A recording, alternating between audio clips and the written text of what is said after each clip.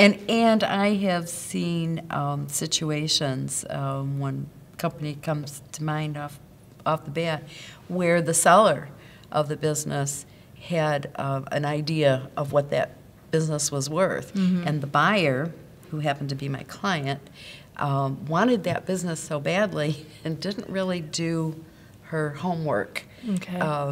it- to the degrees she should have.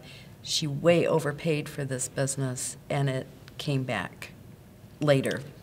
And she's been scrounging now. She's still in business. It's been five years, which is kind of the magic cutoff point if you make Right. it through those first five years. Yeah.